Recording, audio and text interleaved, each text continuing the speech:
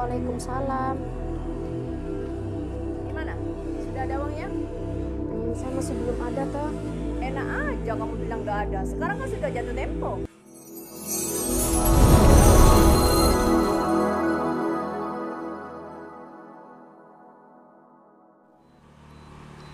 Kayaknya pendaftaran polisi udah dibuka ya. Coba deh aku cek dulu untuk memastikan kebenaran. Oh iya ternyata udah dibuka ya. Pak daftar sekarang. Tapi uang tabunganku cukup nggak ya? Aku lihat dulu.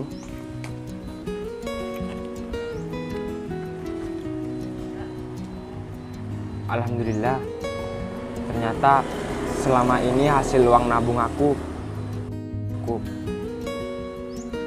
Dan mudah-mudahan aku bisa mengejar cita-citaku yang selama ini aku impikan. Apa aku daftar sekarang ya? Atau enggak besok? Tapi sih lebih cepat lebih baik. Ya udah aku daftar sekarang. Tapi berkas-berkas masih belum aku siapin ya udah aku siap-siap dulu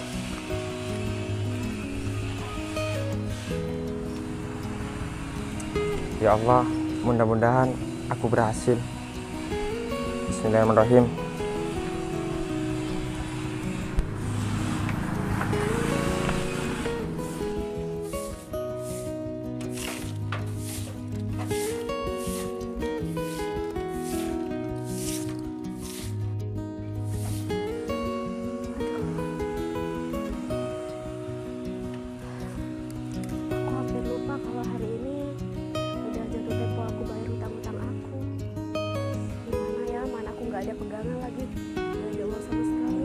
buat bayarnya.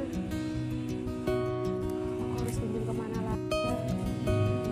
Mana pinjaman aku udah banyak lagi. Tapi daripada aku tak lagi dimarah-marahin sama yang mau nagih utang sama aku, mending aku cari pinjaman uang aja kali ya kali aja aku dapat nggak apa-apa deh yang penting kan dapat uang walaupun dari hasil yang penting utang-utang aku lunas dulu sama rentenir itu ada deh semoga dapat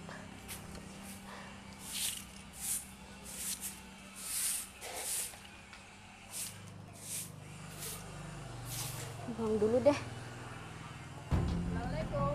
Waalaikumsalam Gimana? Sudah ada uangnya? hmm, saya masih belum ada tuh Enak aja kamu bilang gak ada. Sekarang kan sudah jatuh tempo.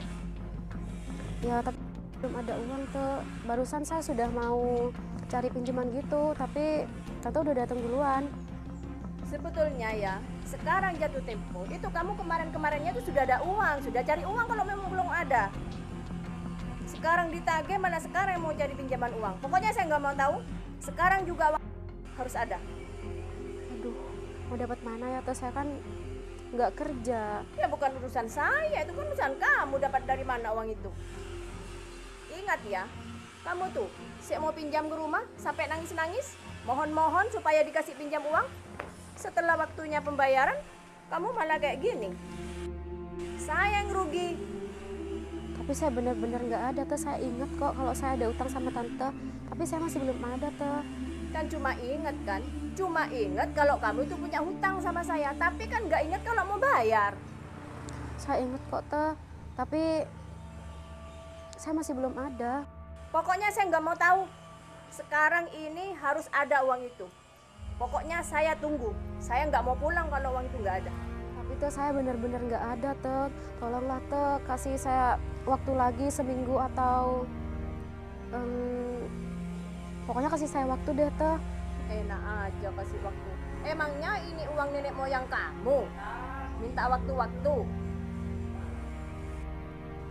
Kalau enggak, apa yang ada di dalam rumah kamu mau saya ambil? Eh, jangan dong tuh saya kan nggak punya apa-apa lagi tuh selain isi rumah saya Ya kalau enggak ya, rumahmu saya sita. terus saya mau tinggal di mana tuh kalau urusan saya, tinggal di kolong jembatan kayak di pasar ya kan terserah kamu. Makanya kalau pinjam uang itu harus ingat bayar. Kalau nggak mau bayar nggak usah pinjam uang, paham kamu? ya tuh saya paham kasih saya waktulah tuh buat melunasi utang-utang saya saya akan usahakan kok tuh saya janji Nggak ada waktu, nggak ada waktu-waktu lagi. Saya sudah capek nagih sama kamu. Berulang kali waktu minta waktu dan waktu. Kamu mau bayar uang apa mau bayar waktu? Pokoknya saya nggak mau tahu ya. Uangnya harus ada sekarang juga. Kalau enggak, rumah ini saya sita. kasih kasih saya waktu kalau hari ini kan mungkin saya nggak kira dapet tante. Ya Pak? Kok ribut-ribut? Ehm, jadi gini mas saya punya utang sama ibu ini Kenapa? Mau jadi pahlawan? Mau jadi pahlawan kesiangan? Enggak Bu, soalnya saya sampai dengar kalau di sini ada keributan. Ya iyalah, lawang dia punya hutang nggak mau membayar, cuma bisanya pinjem uang. Setelah ditagih nggak ada uang. Iya Mbak, emangnya hutangnya berapa ya? Ehm, sekitar 5 juta gitu mas Kenapa? Kamu yang mau bayar. Mana kalau ada uang? Silakan dibayar hutangnya mbak ini. Oh enggak Bu, kan bisa dibicarakan baik-baik kalau kayak gitu. Hmm, baik-baik kamu bilang. Saya ini kurang baik. Itu loh, hutangnya sudah berapa bulan nggak bayar. Mana bunganya lagi? Itu yang 5 juta pokoknya aja. Ngerti kamu? Ya mungkin dia masih belum punya uang lah Bu. Hmm, belum punya uang. Kenapa kok pinjam uang kalau dia nggak mampu bayar? Udahlah mas, kalau nggak mau bayarin jangan sok-sok jadi pahlawan lah. Kalau kamu memang mau bantu dia silakan. Bayarin hutang dia sama saya. Maaf Bu, bukannya saya nggak mampu. Tapi saya sekarang nggak bawa uang cash. Terus bawa apa?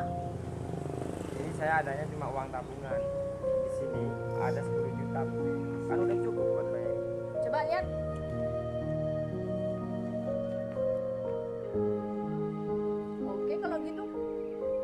Apa kamu yakin mau bayarin hutangnya perempuan ini? Iya Bu. oh tunggu dulu mas tapi kan sebelumnya kita nggak saling kenal kok masnya mau sih nolongin saya Ya karena saya nggak tega lah lihat mbaknya di sampai dimarahin-marahin kayak gitu sama ibunya. Ya wajar lah, namanya saya yang punya uang. Ya kalau nggak mau dimarahin ya bayar hutangnya. Saya nggak mungkin marah. Coba sampean tadi. Nyampe ke sini jangan sok jadi pahlawan bela-belain. Nggak mungkin ya sama saya marah sama sampean. Bukannya saya jadi pahlawan, Bu. Saya merasa nggak enak aja sampai kedengaran di jalan kayak gitu. Ya nggak apa-apa biar semua tetangga tahu kalau dia punya utang sama saya. Biar dia kapok, biar dia nggak ngutang lagi sama saya. Paham kamu? Oke. Ini nanti uangnya saya ambil. Setelah itu nanti buku tabungannya saya antarkan ke sini lagi. Iya. Jadi tabungan ini bisa kamu ambil sama Mbak ini. Ya udah, utang kamu lunas ya. Tapi ingat, sewaktu-waktu kamu butuh uang lagi, saya nggak bakalan kasih pinjam kamu uang lagi. Paham? Makasih. Assalamualaikum. Waalaikumsalam Em, gimana kalau kita duduk dulu mas Boleh mbak. Eh, bentar ya saya taruh sabu-sabu saya dulu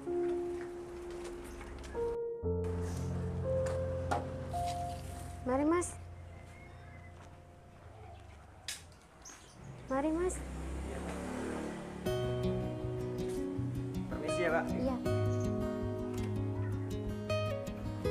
oh iya mas ngomong-ngomong emasnya ini dari mana ya soalnya saya nggak pernah kelihatan emasnya di sini sebelumnya Oh ya kebetulan saya dari rumah mbak. Cuman ada urusan di luar.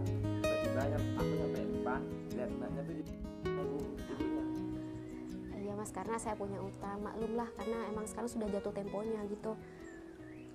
Emangnya mbak buat apa ya pinjam uang banyak-banyak kayak gitu? Oh, dulu saya ada kebutuhan mas, karena saya habis di PHK di kantor saya, jadinya saya nggak punya kerjaan dan saya membutuhkan uang itu banget. Jadinya saya pinjem deh sama ibu yang tadi. Terus mbaknya sekarang kerja apa ya? Eh, saya nggak kerja mas, saya di rumah aja. Kalau kayak gitu kayaknya aku ada kerjaan mbak. Kerja Ya mungkin mbaknya minat ya. Eh, kerjaan apa ya mas? Oh ya mbak, kebetulan orang tuaku punya perusahaan dan kebetulan juga perusahaan orang tuaku butuh asisten manajer. Apakah mbaknya minat? Eh, beneran mas? Ya mau lah mas, karena kan saya emang lagi nggak kerja dan butuh banget pekerjaan.